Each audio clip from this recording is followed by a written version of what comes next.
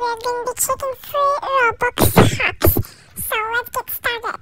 This is our first video. It says how to go on a website and then make sure we do this. So let's try it.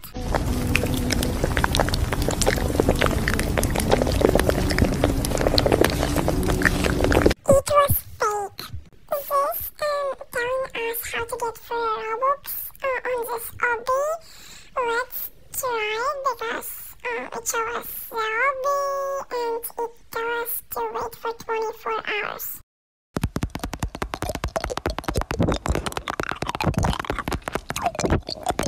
Bruh. Do not try any of free Robux obby. But check out this real Robux obby.